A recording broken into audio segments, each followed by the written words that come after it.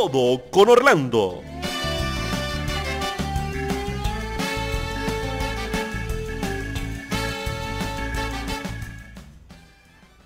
Estimados amigos, sean bienvenidos. Soy Orlando Urdaneta y están viendo ustedes CB24 desde el corazón verde de Centroamérica, transmitiendo para nuestra región y el resto del mundo. Antes de comenzar con el mapa político de hoy, un comentario. Se desgasta la lucha en la pregunta que más se parece al dilema del huevo y la gallina. En este caso, la gallina es el poder y el huevo es determinar si se va o no se va a las elecciones. Una duda digna de Hamlet. Argumentan unos que ir es avalar ese infundio llamado constituyente o constituyente cubana, como la llaman ahora. Y otros opinan que si no se va a las elecciones, se le dejan los espacios al régimen. Esto último es tan cierto como lo anterior, es decir, avalar a la constituyente es el único camino para participar en las elecciones, pero no participar es desconocerla, pero nos deja fuera del juego político. Nos deja sin opciones de alcaldes ni de gobernadores. Dicho de otra manera, si juego con los tramposos, debo ser parte de la trampa, pero no hacerlo me deja fuera de la trampa y de todo. Veámoslo de esta manera. En una comarca cualquiera, un pequeño grupo está organizado y listo para robar a todo el resto de los habitantes del Villorrio. Los van a asaltar y los van a matar a todo aquel que no se deje asaltar. A todos los habitantes del pueblo aguarda este destino. Luego, la villa va a quedar dividida entre asaltantes y asaltados, vivos o muertos. Parece que cada habitante de esa geografía se quedará atrapado en uno de los dos grupos, el de los asaltantes o el de los asaltados. ¿Verdad? Me van siguiendo, ¿no? Dicen los matones, los vamos a asaltar a todos. El que no pertenezca a la banda será víctima de la banda. Eso es lo que está ocurriendo ahora mismo con Venezuela. Si no te inscribes en la banda, en la mara, serás víctima de la mara, de la patota, de la pandilla. La única salvación, la única manera de escapar es formando parte de la banda, convirtiéndote en otro asaltante más, en otro delincuente, en otro criminal. Y ojo, que a la hora del té, también tú como miembro de tan selecto grupo deberás asaltar y asesinar bajo riesgo de no ser considerado un miembro de la banda. De manera que el tema no es político, es de supervivencia. Me anoté para el atraco porque si me quedaba fuera me ponía del lado de los asaltados. Prefiero estar del lado de los asaltantes. Quiero estar con los asesinos, no me queda otra. Sí, pero ¿y la ética? La moral, el deber ser. Pero es que me van a asaltar, me van a robar, me van a matar. Robo y mato o me roban y me matan. No hay salida, no hay escapatoria. De pronto, alguien desenvaina una idea, tal vez la única, la salvación. Y si nosotros que somos muchísimos más, los asaltamos a ellos y los dominamos y evitamos el robo y las muertes, no, eso sería practicar la violencia, podríamos tener que matar a alguno. Y eso no está bien, no se ve bien. Somos gente honesta y de principios. Yo creo que lo mejor es asimilarnos a la banda de atracadores y asesinos. Vamos con ellos a las elecciones.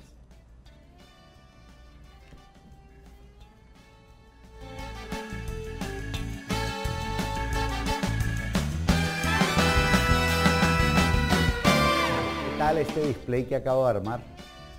Unidas por Venezuela es la organización que está vendiendo estas pulseritas tan gaseosas con el mapa de Costa Rica y el mapa de Venezuela.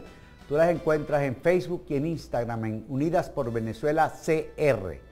Toda, toda, todo el producto de la ganancia de la venta de estas pulseritas, 100% es para alimentar un niño. Cuando tú adquieres una pulserita de estas, alimentas un niño durante un mes. Bonito es esto, ¿no? Qué buena idea. Déjenme decirles que sigue la madre celebrándose. seguimos celebrando la madre en Lorenzo's Restaurante, con la más completa bodega de vinos en la zona. Lorenzo's Restaurante le brinda, Lorenzo's no, Lorenzo, es que mi niñito dice Lorenzo, le brinda las más exquisitas creaciones de la cocina italiana en un servicio de atención insuperables. Además, este mes, la oferta que ya les comenté, las madres de Costa Rica y las que estén de, visita en Costa Rica son celebradas en Lorenzo porque cuando llegan ellas tienen un 40% de descuento. 40% de descuento en Lorenzo's Restaurante, donde hay un ambiente para cada ocasión. La vera cucina italiana en el centro comercial de Piazza Iscazú. Bueno, ustedes me dirán qué les parece la vida moderna sin carrera universitaria, sin una preparación. Un horror, ¿verdad? Terrible, ¿no? Es como que tuvieran dos presidentes maduros en vez de uno. Una carrera en ciencias empresariales lo alista para triunfar en la búsqueda de su mejor futuro financiero. La Universidad Centroamericana de Ciencias Empresariales, UCEM, ha sido creada para brindarle a sus estudiantes una sólida base profesional en los campos científicos, tecnológicos, humanísticos, la Universidad de Ciencias Empresariales tiene la carrera más económica, pero con el más alto nivel. Visítanos, diagonal a la esquina noroeste de la Catedral de Alajuela, aquí en Costa Rica. Dice así la noticia, Venezuela pone en peligro la seguridad y prosperidad de todo el hemisferio. Eso lo advierte el vicepresidente Mike Pence en un encuentro con gente de negocios ayer en la Bolsa de Comercio de Buenos Aires. Explicó el vicepresidente de Estados Unidos que un Estado fallido en Venezuela pondrá en peligro la seguridad y la prosperidad de todo el hemisferio occidental del planeta y que lo que estamos viendo en Venezuela es la tragedia de la tiranía y señaló el Estado fallido de Venezuela traerá a la región más tráfico ilegal de drogas, está oyendo de Dado Cabello, muertes, inmigración ilegal y comprometerá nuestras economías. Mike Pence afirmó que ningún pueblo libre ha elegido convertir lo que una vez fue una de las naciones más ricas de América del Sur en una de las más pobres y corruptas, que todos los pueblos libres de América están con los ciudadanos venezolanos y juntos se levantarán contra los opresores. Lo que tengamos que hacer para ver la democracia restaurada en Venezuela, lo haremos juntos y lo haremos bien. Venezuela necesita libertad. Agradeció a Argentina y al presidente Macri las medidas tomadas con el fin de rechazar las acciones del régimen de Maduro y la suspensión de esa banda en Mercosur. ¿Irá Tarek William Saab a darle explicaciones a la Asamblea Nacional? Lo que pasa con este tema, bueno, déjenme terminar la nota. La Asamblea Nacional citará a Saab por casos de violación de los derechos humanos en las protestas. Durante la sesión de ayer, los diputados acordaron citar a Tarek William Saab, defensor del pueblo, nombrado fiscal general de la República por la Asamblea Nacional Constituyente Cubana, para que informe sobre las acciones de su despacho en los casos de violación de los derechos humanos. Borges, que siempre tiene algo que decir, abrió la sesión advirtiendo que es alarmante la situación de nuestro país en materia de derechos humanos. Hoy presentamos testimonios de las víctimas y la Cámara pasó a revisar y debatir el informe de la Oficina de Alto Comisionado de las Naciones Unidas para los Derechos Humanos, en el cual responsabiliza a Venezuela del uso de fuerza extendida y sistemática contra manifestantes en el marco de la actual crisis que vive el país. En esta larga frase, la clave es lo de extendido y sistemático. Sería aún más contundente con la información del exdefensor del pueblo, ahora fiscal general con expedientes de ambos despachos, pero claro, se duda mucho que se presente. Aquí yo voy a hacer un pequeño comentario. ¿Por qué quiero hacer un pequeño comentario? Porque el tema es que unos y otros, con esto quiero decir que a lo mejor se presenta.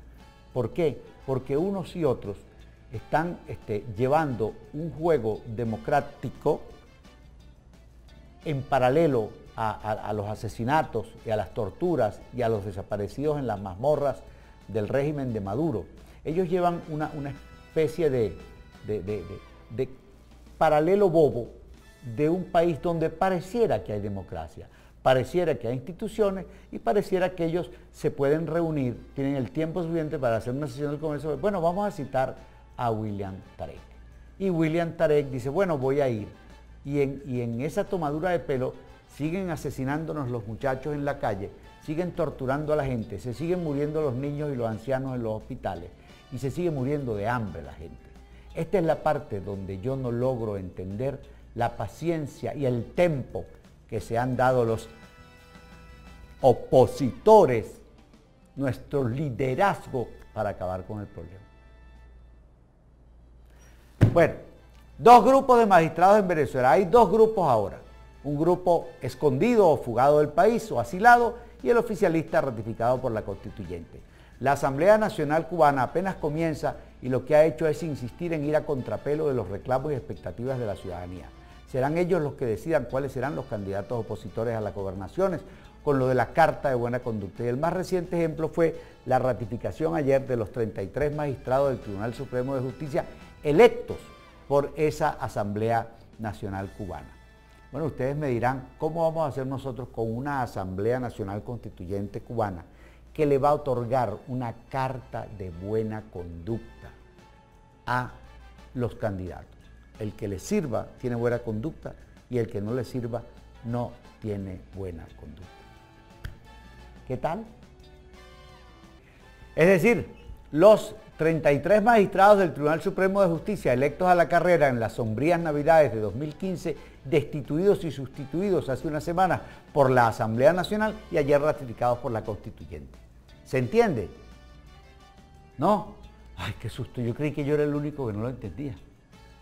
Comerciantes centroamericanos rechazan la constituyente. Cámaras de Comercio de Centroamérica instan a sus gobiernos a rechazar régimen de Maduro la Federación de Cámaras de Comercio de Centroamérica, FECAMCO, con sede en El Salvador, instó este martes a los gobiernos de la región a rechazar la brutalidad del régimen del presidente Nicolás Maduro, el cual ha causado una grave crisis en Venezuela. Aseguró FECAMCO que les preocupa que gobiernos centroamericanos que se dicen democráticos avalen de manera reflexiva el rompimiento del orden constitucional. Debe ser irreflexiva el rompimiento del orden constitucional que el Ejecutivo venezolano está ejerciendo en su afán por privar a sus ciudadanos de sus más elementales derechos, elementales derechos civiles y políticos. Agrega el organismo que rechaza los criminales métodos represivos con los cuales el régimen de Maduro trata de callar a los ciudadanos venezolanos que con valentía, haciendo uso de su legítimo, legítimo derecho de desistir, se manifiestan en las principales calles del país. Nos da la impresión de que esto va dirigido principalmente al gobierno salvadoreño, pues Guatemala, Honduras y muy especialmente nuestra Costa Rica y Panamá han sido firmes críticos del gobierno de Maduro y sus excesos. Nicaragua ha sido y sigue siendo firme apoyo a Maduro y su dictadura mientras El Salvador ha estado en la onda de dejar hacer, dejar pasar, ser faire. Vamos a ver. ¿Qué tal el desayuno tempranero que se sirve en Mastranto, ¿ah? Una rica cachapa con un cafecito con leche. ¡Ay, qué cosa tan exquisita! Bueno, eso es si usted no se quiere comer la arepita o la cachapa con asado negro, que desde esa hora lo tenemos. Pero también es más rico dentro de una arepita o el asado negro después con alguna de las cremitas que todos los días tenemos para ustedes en Mastranto. Disfruten Mastranto el mejor sabor de la tierra de tus nostalgias Pon a Venezuela en tu paladar en Mastranto. Callejón del Hambre en Huachipelín. Eso es Plaza Las Palmas. Y yo lo llamo Callejón del Hambre. Mastranto, con el más exquisito menú de comida criolla venezolana. Qué feliz está la gente de Carmix en Panamá. Me llamó Gustavo Enrique y me dijo, por favor, te agradezco inmensamente. Bueno, le agradezco porque él me trata de usted, que eres muy joven. Le agradezco inmensamente que le diga a la gente porque a veces me da vergüenza que llamen antes, porque hay unos que llegan solamente para la entonación, el servicio de escáner, el diagnóstico computarizado, otros, bueno, ya tienen una emergencia porque no aguantan más el calor y quieren tintar los vidrios o teñir los vidrios. Y hay otros que tienen problemas de tren delantero. Pero para lo que usted quiera, para mantenimiento, para aire acondicionado, para instalación de todo tipo de accesorios, para autos, cualquier auto y los 4x4, Visite Carmix en la calle 14, río abajo a 100 metros de la vía España. Pero si quiere, dése una llamadita antes, que es lo que me pide Gustavo Enrique. Llame al 6671-2563. 6671-2563. Ya regresamos.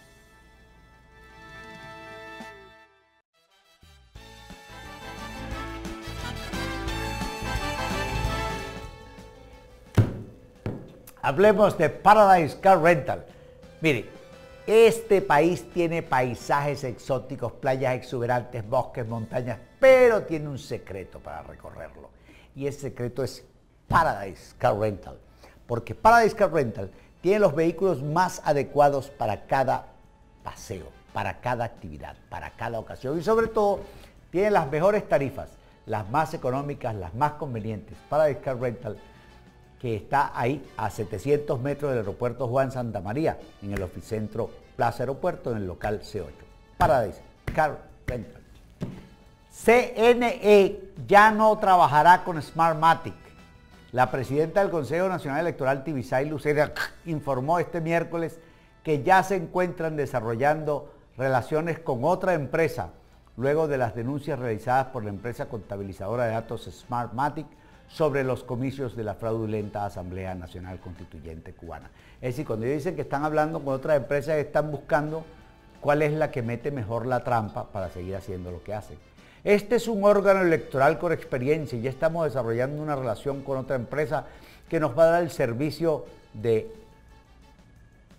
soporte técnico. Eso señaló la rectora del CNE y destacó que están realizando todas las auditorías para estos comicios. Todas las auditorías se están realizando como siempre. Hemos dicho que la fortaleza de nuestro sistema electoral está en la participación de los ciudadanos, como sea en la participación que tuvieron ellos para la constituyente. Que hemos construido un sistema electoral transparente. ¡Ah! ¡Embustera! ¿Vos te estás escuchando? Líder opositor ruso denuncia que el Kremlin financia al régimen venezolano. El líder opositor ruso, Alexei Navalny, denunció hoy que el Kremlin financia al régimen del presidente venezolano Nicolás Maduro y que no tiene intención de recuperar los 8.800 millones de dólares concedidos en créditos a Caracas. Digan lo que digan, todo el mundo entiende que se trata de inyecciones a fondos perdidos en el régimen de Maduro, escribió Navalny en Navalny en su blog. Sobre los 2.800 millones de dólares que otorgó Rusia a Venezuela en 2011, que según la última reestructuración aprobada por el gobierno ruso el año pasado no se empezará a devolver hasta 2019, Navalny afirmó que es un hecho clínico que la hacienda rusa no recuperará ese dinero. y, Putin le dijo, ¿cómo es Navalny? La audiencia de cuentas ha dicho oficialmente que ese crédito ya nos ha dado pérdidas por 54 mil millones de rublos, es decir, unos 905 millones de dólares, dijo el líder opositor, que ha anunciado su intención de presentarse a las elecciones presidenciales del próximo año, pese a que las autoridades se lo prohíben por sus antecedentes penales. Y hablando de penales, calabozos atiborrados, además de la amontonada población de presos en todas las cárceles y centros diversos de arresto, siguen detenidas 1.048 personas desde el inicio de las protestas, según reporte del Foro Penal venezolano. El director del Foro Penal, Alfredo Romero, informó a través de su cuenta en la red social Twitter que desde el inicio de las protestas contra Maduro en abril hasta este 15 de agosto van 5.326 personas que han sido arrestadas. De esa cifra especificó que 1.048 continúan detenidas, 655 han sido juzgados, o sea, ni el 50% por tribunales militares y hay 676 presos políticos. Diría uno que salvo alguna excepción, todos son o han sido presos políticos. Bueno amigos, hasta aquí nuestra emisión de hoy. Hemos tomado noticias de aquí y de allá, en especial el reporte informativo diario que elabora nuestro buen amigo don Alfredo Maldonado. Gracias por habernos permitido acompañarlos, que el Dios de su fe me los cuide y nos volvemos a ver aquí en otra emisión del programa.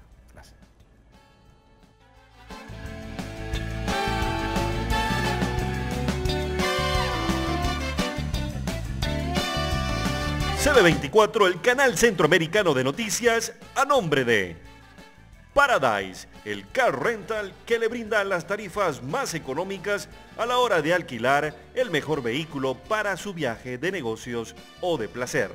Cafetería y restaurante Mastranto, con el más exquisito menú de comida criolla venezolana.